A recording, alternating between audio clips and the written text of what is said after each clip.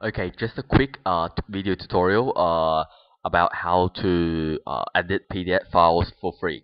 This is simple and it works. It's actually really really simple. I'm just going to show you how to do it right now. So PDF file, save as, you're going to save as a Word document, right? Now you probably know what's next. You save as wherever you want, save as desktop, right? You want to save as .word, mean, and then just um, make sure try to make sure it's uh at least 2010 okay this version okay?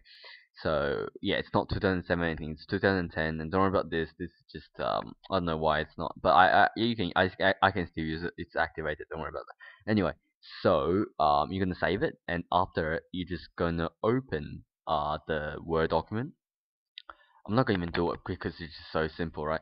And then you're gonna um edit it there, then you going to go file, save as Adobe PDF, just um transferring, to, uh, you know, converting to Word, editing in Word, convert back to Adobe PDF.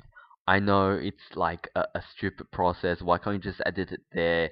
Uh, you can do it with Adobe Acrobat, but it's uh it's uh paid and uh most other softwares are paid.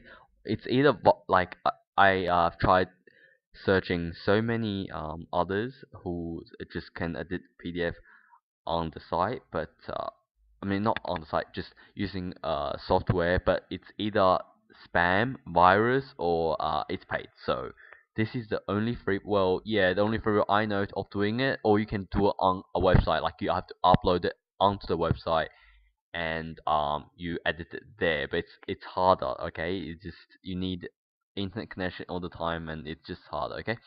So that ends my video tutorial and uh, thanks for watching